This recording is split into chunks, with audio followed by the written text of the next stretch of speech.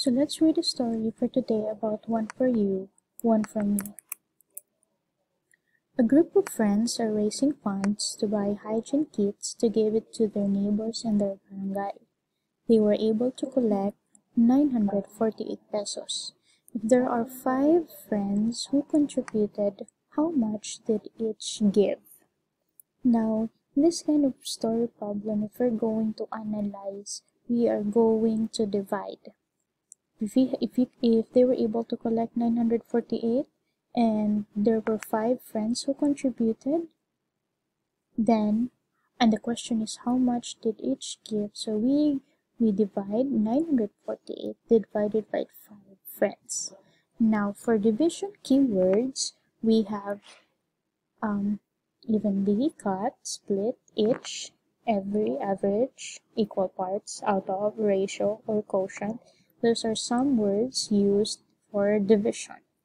Now, how do how to divide decimals or how do we divide?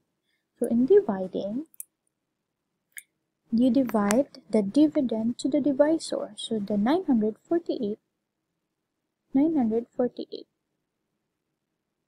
divided by 5. So this is the dividend and this is the divisor. Next, so we are we are now answering the story problem of how much did each give. Now if there is still a digit to divide add decimal point and 0 and continue dividing. Now let's divide first. We have 9 divided by 5 that's 1 let's multiply 5 so multiply and that's 4 subtract bring down 4 you bring down 1 by 1 4 and then divide again repeat the process. So 44 divided 5 it's 8 multiply it's 40 subtract again it's 4 bring down the 8 it's 8 again 48 divided 5 is 9 that's 45 there's a remainder 3 so in dividing decimals you need to uh, in the step in the in the step 2 the, if there's a still digit to divide, add decimal point to the dividend and add 0, then continue dividing. Okay, it's because there is um, the 948 is equals to 948.000. It doesn't change the value if if you're going to add a decimal point and the zero so it's the same. Then um you since there's a zero here you bring down the zero bring down the zero then we have 30 now. We continue divide dividing. So that is 30 divided by 5 is 6 okay now step 3 put the decimal point in the quotient directly above decimal point in the dividend. So since there's a decimal point there, you put decimal point on top. So we have 6 times 5, that is 30. No more remainder anymore. But if there is still another remainder, then you need to add another 0 and then bring down 0 and then divide. Therefore, the answer is um, the last step would be add zeros to the dividend and continue dividing until, until there will be no remainder. So we're done. There's no more remainder. Then um, the answer is how much did each give? They give, each of them give 189 pesos and 60 centavos.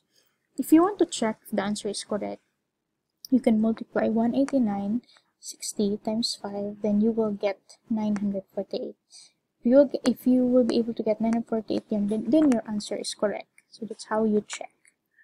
Okay. Now the steps in dividing decimals to whole number. So you can see here in the example 823.2 divided by 3 so it's whole number. So to divide mixed decimals with whole numbers place the decimal point okay so let's write here 823.2 divided by 3 all you have to do is to place the decimal point directly above the decimal point in the dividend. Then um, let's divide now divide just like dividing whole numbers and add zeros to the dividend when needed.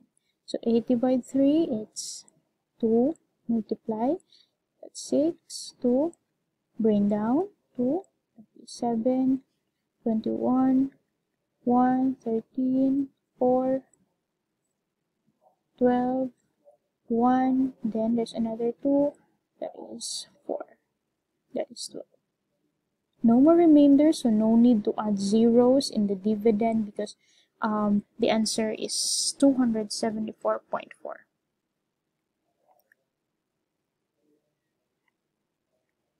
do not forget to align. If you're going to divide 8 you align it to the, the quotient on the top of the 8 if you're going to use 82 then you're going to align it properly to what digit are you dividing. Next. Steps in dividing whole numbers to decimal numbers. We have here for example 135 divided by 0.34 so this time the dividend is the whole number and then the the divisor is a decimal number okay Take note that you cannot divide right away if the divisor is a decimal number. Here is the step you need to change the divisor to a whole number. Okay, if it if the divisor is a decimal number, you need to move or to change the divisor to a whole number. By moving the decimal point and make this a whole number so we have if you're going to make it a whole number so this will become oh you move the decimal point it becomes 4 it's a whole number now. Then in the 135 you move the decimal point in the dividend to as many places as the decimal point in the divisor. Since you move one place from the 135 the decimal point is here. You also move one move so it the decimal point is here and then you add 0 okay. so so that the quotient will not get different answer. So the new equation now is 1350 divided by 4 so if there are two digits here after the decimal point so you need to move two places. Then you move also two places. Okay so now let's divide. We have 13 divided 4 it's 2 3 sorry it's 12 1 15 that is um 3 12 so that is 3 bring down 0 then it's 7 28 there's a remainder 2 if again if there's a remain remainder add zeros to the dividend when needed. Do not just add zeros right away. If you're going to add zero the, the value of the div dividend will become 13,500. But if you're going to put 0 here, decimal point, since here's the decimal point, then it doesn't change the value, it's still 1,350. Then add, put the decimal point on top of the decimal point here, then you bring down the 0, continue dividing, 20 divided 4, that's 5. So the answer is 200, 337.5. Now let's have more examples. What is the value of n in the equation 453 divided by 2? Okay. So let's divide 2, 4. This is multiplication. This is subtraction. 0, that's 5. 2, 4, 1, 13. That is 6. 12. There's a remainder 1. What you're going to do you add the decimal point here add the decimal point on top of the decimal point and add 0 so that it will not change the value you need to add decimal point and put the 0 here then continue dividing that's 5 5 times 2 it's 10 so no more remainder then the answer is 226.5 0.5 sorry okay next What is 550.32 divided by 6. So 550.32 divided by 6. The divisor is a whole number, so no need to move the decimal point. You just have to put the decimal point on top of the decimal point, then divide. 5 divides 6 you cannot uh, that's 0 let's use 55 divided 6 that is 9 align it to the uh, the second 5 because we're using 55 it's 54 is 1 bring down 0 10 divided 6 is 1 that's 6 this is 4 bring down 3 that is 7 42 1 and then bring down 2 so you bring down 1 by 1 there. Okay and then bring down 2 12 divided by 6 is 2 that is 12 subtraction. Then 12 minus 12 is 0 no more remainder. Therefore the answer is 91.72 next what is the quotient of 962.5 divided by 7 quotient is the answer in division so 962.5 divided by 7 First, add a decimal point on top of the decimal point in the dividends. We have 1, 7, 2, bring down 6, that is 3, 21, 5, bring down 2, that is 7, 49, subtract, we have 3, then bring down 5 so 35 divide 7 that's 5 5 times 7 is multiplication so we have 35 no more remainder so the answer is 137.5 next what is 645 divided by 0 0.06 so in this given problem the divisor is a decimal number you, you cannot divide right away if it's a decimal number for the divisor. Make this a whole number first by moving two places, 1, 2. So you move two places to make it a whole number, so it becomes 6 now.